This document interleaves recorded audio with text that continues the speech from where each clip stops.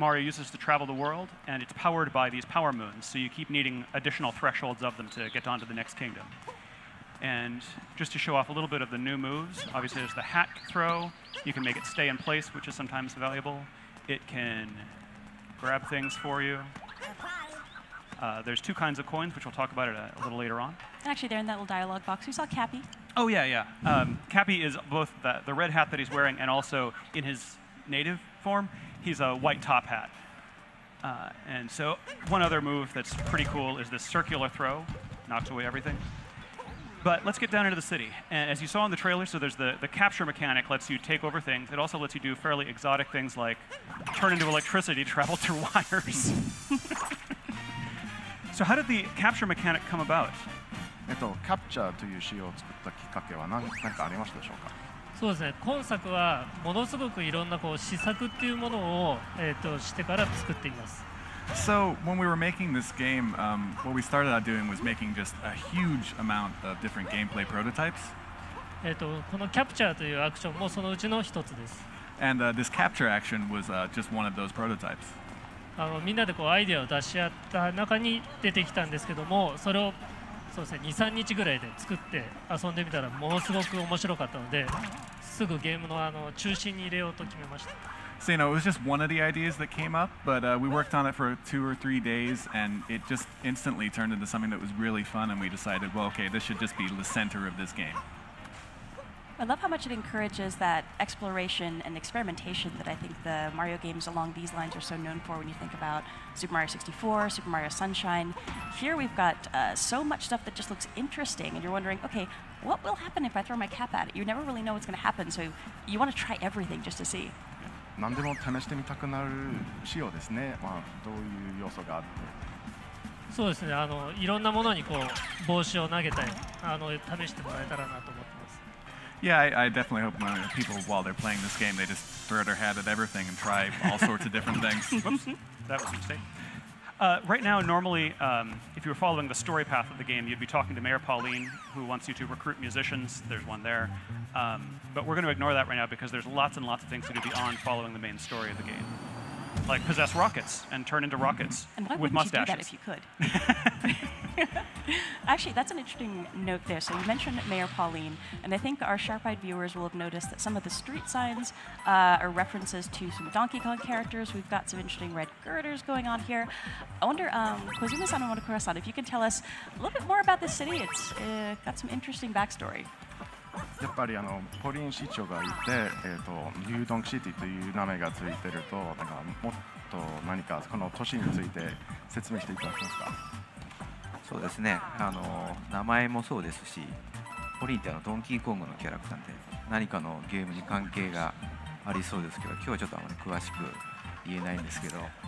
So certainly you can tell that Pauline uh, is from Donkey Kong and the name New Donk City probably leads you to a couple of hints, but we can't get into too much of it today. And I like the shirt you're wearing, by the way. That is a snazzy Good choice shirt. today. so please look forward to hearing more about that. Uh, I gotta take the long way. Oh, good luck. Oh. And this is interesting here where we see uh, I mean, really throughout New Donk City, and I think throughout the world, we've got these really fun playground elements where you're bouncing on things, you're jumping on things, you're swinging. Uh, can you tell our viewers a little bit more about how you came up with that kind of play mechanic in the game?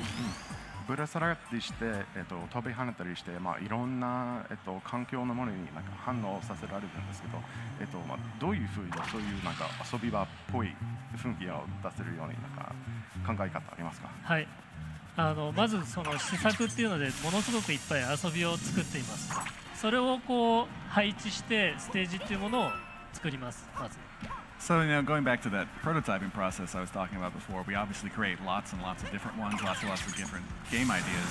And then next, what we think about is where to place them within the stage. そこにそのアートであるとか具体的なものを載せてあの遊んでみます。So you know, we put it in the stage. We like combine it with different art assets, like kind of like real, real things, to see what it might actually look like or work in game, and then try playing it. そうするとこうもっとこうしたいとかあのいろんな意見が出てくるのでそれをさらにそこに上乗せして作っています。 And then, you know, obviously out of that, like different things come up, like, oh, maybe we could do this a little bit differently. Maybe this could actually work like this instead. And then we kind of add that to it, and the process just continues from there. なので先ほどちょっと出たあのタクシーなんかをジャンプさせるのもあのスーパーマリオサンシャインでもちょっと似たような仕様があったのでそういうところからちょっとヒントを得ているいます Mm. And so, you know, you, you saw before, you know, we were able to jump on top of the taxi, and that's something that was sort of in uh, Super Mario Sunshine at, at times. So, in, in that way, we're also getting hints from past games. Uh, can I quickly interject that um, in the so as I, as I mentioned, the goal right now is to recruit these musicians. When I was first playing this game for a feedback report for the development team, I could not figure out how to get to this guy on the top of this building. You can just barely see him. He's a speck right now in that triangular building. And the way I eventually found to do it was to take a really long oh, fall. I did that too. and Yeah. that worked. Oh, I feel bad and for his knees. a bit to my surprise. and I, w- I wanted to know, you know, when you when you saw that report from me, you know, what was was that a problem to be solved? Was that a cool thing? What was that? でこのマリオはあの NCR の報告書を書いていた時に、まあ、こういうふうにあのトランペットのバンドマンの到着ができますよと書いてましたがそれはそれを見てちょっと困っていたんでしょうか？はいあのそれは読んだんですけれどもあの読んだんですけれども今日ここでプレイするとは思わなかったです Yeah, I, I did read that. I didn't know you were going to be playing that right now. Troublemaker. でもこう、Well, I also know the real way. I'm just I'm, or another way. まあ本当本当のやり方も分かってます。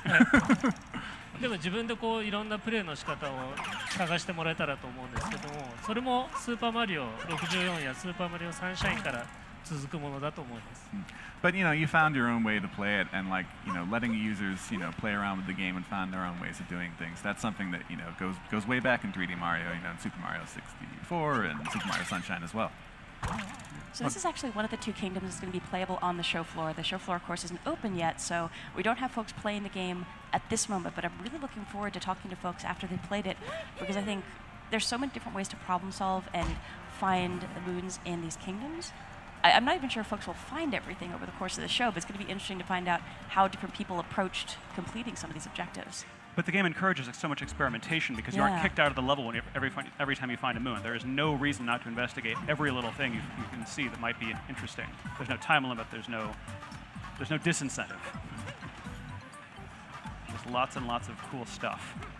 Whoa. Okay. Yeah, that is a very interesting change that adds, I think, to the immersion in the kingdoms. When you think about Super Mario 64, Super Mario Sunshine, whenever you got your, so whatever the collectible objective was, depending on the game you were playing, uh, you'd get bumped out of the area and you'd have to come back in. But here, since you're not going to get booted out of the kingdom when you collect a Power Moon, there's a lot of encouragement to just Oh, go check out that weird thing you saw on the horizon because you can still continue with whatever your primary Oh, objective no, is. no, oh no. no! but then, you know, keep, keep on tracking and finding moons. Another way, reason to explore everything is that there's very little dis- there's very little punishment for dying. I just lost 10 coins, and you know, there's lots.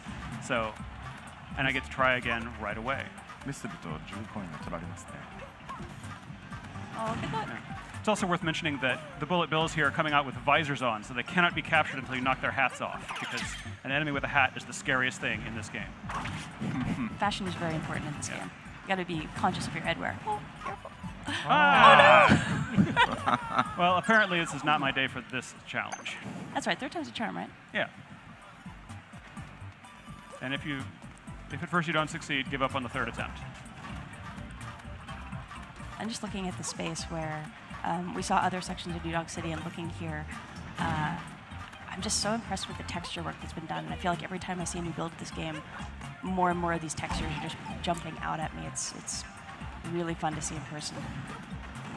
It is a gorgeous game, and we're gonna we have some other segments later on in the in the stream that are gonna highlight some especially pretty areas. Oh, you got this. Yeah.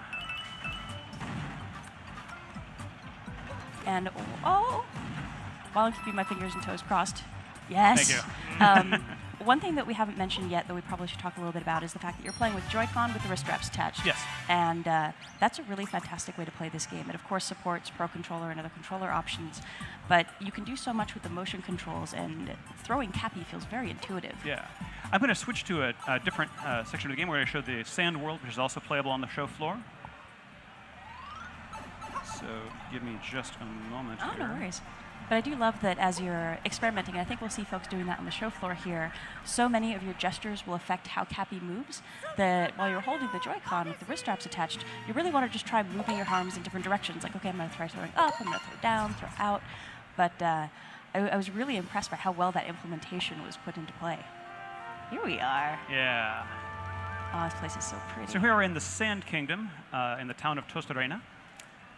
And uh, they have a problem now because uh, it's all frozen. Everything is cold for reasons, of course, that Mario will eventually solve. Yeah, actually, if you hang still for a second, we can show his little idle animation when he's Oh, cold. yeah, yeah, It's yeah. Really cute. oh, he's cold. I love Oh, the yeah. locals here too. Yeah, I think he's distracted by the, by the local dancing around, but I think if he's by himself, then he really shivers. Oh, poor Mario. Yeah. Uh, so let's see here. One thing, one thing I did want to show off is, so as we mentioned, there's two kinds of coins in this game. And for the, I believe the first time in the main, mainline Mario series, you can actually buy things with your coins. And I wanted to ask the developers how that came up, you know, that in- currency should be worth currency. なんでコインで買い物できるようにしたいと思ったんでしょうかはいあの今回はコインを本当にお金として扱おうと思いました So we wanted, you know, coins to be used as coins in this game. Actually, use them as money. あの 外国に行った時にその国のお金ってすごいなんか印象に残ってないですか And you know, I think I think you'll agree. You know, if you go to you know a foreign land, one of the things that makes the biggest impression on you is the currency. えーこれ使えるのとか思ったりしないですか You know, you kind of look at it and you think, wait, is this is this real? Can I use this? あの今回はマリオもいろんな国を旅しますのでその国その国のコインというものを用意しています And since you know Mario is going around to all these different kingdoms in this game, we wanted to make sure that there was a currency for each one. 要素はコレクトするコインの要素になっていますので集めたものでコスチュームを変えたりあのお土産を買うことができます And you know, they're they're collectible items, so you can use them to uh, buy different outfits or buy souvenirs. お土 Speaking 産 of, お土産買うの楽しいですよ Yeah, and it's always fun to buy souvenirs, right? Yeah, absolutely. absolutely. And speaking of shopping, we are now Yeah. in Crazy Cap. So there's two there's two kinds of coins as we mentioned. Um, the the purple ones are unique to the the local kingdom. The yellow ones are can be used in any shop. Uh, I'm going to buy because the the guy at the at the door said I, maybe I should uh, I'm not living up to their dress code. Maybe I should buy some clothes to uh, fit in better. I'm going to buy a, local sombrero and poncho. And wait till you see how adorable Mario looks. Being adorable. I just love the shopkeeper. Yeah, and their huge stack of hats. He's so cute. And you can see some of the, the souvenirs you can buy there that you can use to decorate the inside of the ship. Nice. And now I'm rocking this look. And let's go try that door again. So my capabilities are the same. You know, I still have, it's still Cappy, even though he's turned into a, a, a different kind of hat now. He can turn into any kind of headwear, apparently. Exotic superpower. and, uh, all right. So I go over and talk to this guy. Let's see if you meet the expectations now. Ooh, snappy and lively. Snappy and lively. I think the hat is the one and the poncho is the other. All right. And this is, of course, what the goal I was working toward all this time. I love all these little moments of surprise where you never really know what's going to happen Yeah. when you, you Why get did I into want to these get in this spaces. room? I don't know. I wanted to get. I wanted to get in this room so I could play a guitar. You want to get in because it's locked. Yeah, exactly.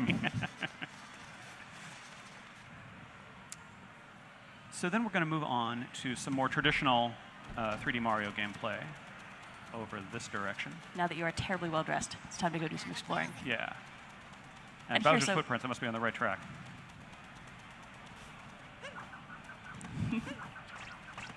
So notice that while using the motion controls, I can actually use the little homing function on the hat more easily. It is possible with the, the button controls only, but it's much more difficult. All right, the classic Goomba.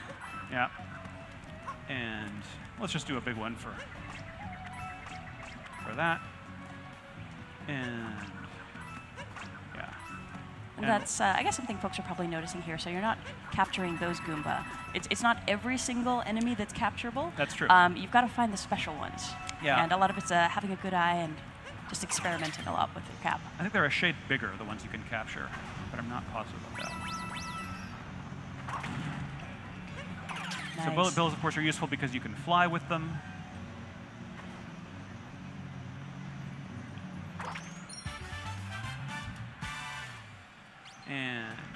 And now I've got to very quickly capture my ride back. And with bullet bills, they you can only capture them for a limited amount of time because at some point they're just going to blow up. Yeah. So you have to be a little mindful of what you're doing. Yeah, you only get so much bill. time with the explosive guys. All right, and then almost to one of my favorite bits in this level. Oh yeah, the the next bit you're coming up to just Yeah. blew my mind the first time I saw it. So this place has these murals that look like they're decorated in this cool old, old school aesthetic. And I'm just going to go right on in. And I've still got my costume. so um, Koizumi-san and Motokura-san, I think we definitely need to hear a little bit more background about why you added this into the game, because it's so cool, but it's so unexpected as well, I think.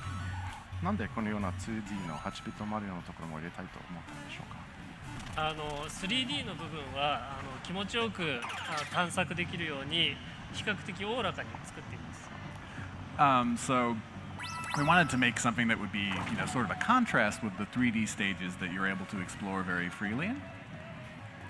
2D の部分はもう少しあの細かく緊張感のあるあの構成になっています You know, the 2D the 2D spaces are kind of more confined. They're more precise. You you know, it's more like kind of uh, you know, sort of traditional platforming elements.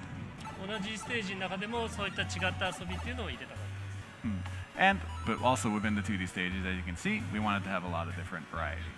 もちろんこう昔からのあのゲームが好きな人にも楽しんでもらえるあのビジュアルになっていると思います And of course, you know, with the visuals, we're hoping it's something you know the people who enjoyed kind of those classic nostalgic games also get a kick out of as well.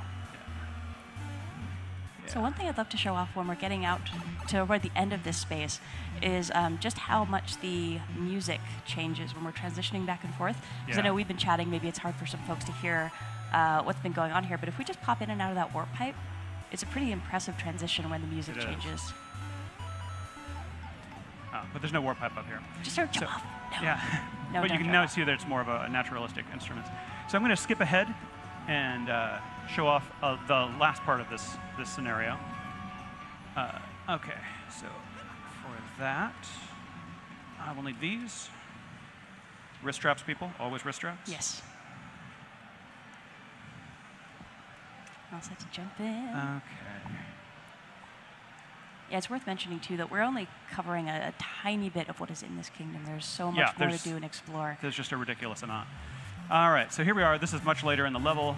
Uh, I'm still got my snappy outfit though, and watch these bullet bills transition out of the 2D, and then I'm going to use one to break open this wall. So another thing that's really handy about the bullet bills is a capture target that you'll see here, um, when you're trying to target for really precision flying, it's got a little bit of a headlamp. that- oh no, no, you Oh, oh, I'm doomed. that's okay. but it's got a little bit of a headlamp, so you can kind of use See that to line pointing, yourself yeah. up. It's super handy. That's okay because we get to see this cute little 2D to 3D transition I again love with the that. bills. It's so cool. All right. All right, you got this. Yeah. All right, here we go. And with the bullet bills, you can also give yourself little speed bursts as well. Uh, shaking the Joy-Con will let you go a little bit further. So it's worth experimenting once you get a feel for the timing of how long a bullet bill will last. It's kind of like driving a car that doesn't have any brake pedal. It, you can you can go faster, you can steer, but that's all you can do. And all right, so up here we're about to confront one of the Broodals, and uh, folks may have seen them in our original uh, teaser trailer for this game. Um, they are an evil wedding planning firm, uh, and I'd love to hear more from the uh, the developers about how they came to be and what your favorite Broodal is. ブライダルズという団体がこのペコンを企画してるグループらしいですけど、いなんか一番一番気に入りのブライダルズは誰かいますかそうですねあの彼らはあのクッパに、えー雇われてクッパの結婚式を成功させようとしています So they've you know, as you kind of said, they've they've been employed by Bowser. They're in charge of making sure his wedding goes off without a hitch. 結構仕事をきっちりするタイ And プですね they're very serious about their work. Respect that. Their work ethic is admirable. 休日ですね。なのであの真ん中にいるちょっと背の低い同じような帽子をかぶったようなキャラクターがいるんですけれども、それがリーダーなので僕はそのトッパーというキャラクターがあのお気に入りです And you know, my favorite is uh, Topper, the kind of uh, shorter one who has that uh, uh, green top hat. Yeah, on. guy in green. Yeah. Yeah, yeah, Topper. How about you, uh, Kozumi-san? Do you have a favorite? 小泉さんもなんかキリンのカラーあそうですねちょっとちょうど今出てるのがハリエットっていうその可愛いウサギさんの、えーキャラクターなんですけどもなんか可愛い香りしてるのに結構凶暴なんでそのコントラストがすごい面白いなと思ってます This is really good timing because the character I like the most is the one you're fighting right now, Harriet. She has this great contrast between her cute appearance and like how devilish she is. She's sort of like the uh, tricky little sister of the group here. Her attacks are really fun to watch as well, Yeah. especially when she starts flying around. Yeah. And it's worth mentioning you fight each of the Broodals a few times, um, but their their tactics get more and more intense and, and dangerous. Uh, uh, But I'll be honest, having planned a wedding last year, I would take the help of evil wedding planner. Yeah, I mean, monsters. any evil help is better than no help. and they, are very dedicated to their work. And they're, they're willing they to fight your enemies for you, and that's pretty great. Oh, nice. There we go. Nicely done. Thank you. Ah, oh, God, sorry. oh, Sorry, Harriet. Now she'll be back. All right, so that's a grand moon worth three power moons. And there we see Cappy in his natural state as well. There he is, celebrating with Mario.